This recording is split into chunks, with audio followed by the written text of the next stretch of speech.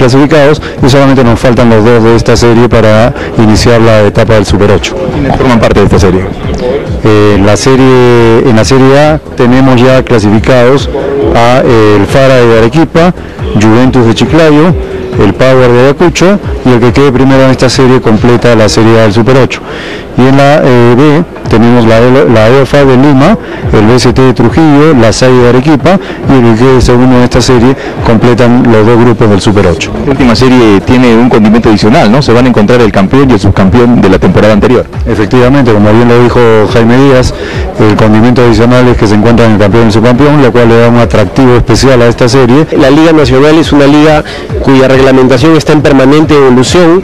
Eh, esta es la sexta temporada, es, es, el sexto año y si bien es cierto, el torneo se inició jugando íntegramente en Lima, esto ha ido cambiando para que cada vez más sedes o más etapas del torneo puedan ser pedidas o solicitadas por equipos del interior.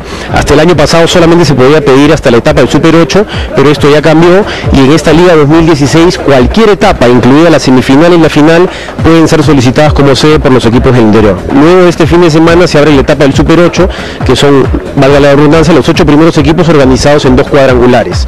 Eh, luego de ello, los cuatro primeros equipos entran a la etapa semifinal, que van a jugarse en un formato de playoff al mejor de tres partidos, y los dos ganadores de cada llave llegan a la final. En caso de que llegue un equipo arequipeño y de la capital a la final, ¿cómo se desarrollaría la misma? En el caso que se dé esa opción, se considera en las bases que el equipo mejor clasificado tiene opción o tiene prioridad para solicitar la sede. Vale decir que si es un playoff de cinco partidos, puede pedir los dos primeros partidos o puede pedir los tres primeros partidos, dependiendo estratégicamente de qué es lo que le convenga.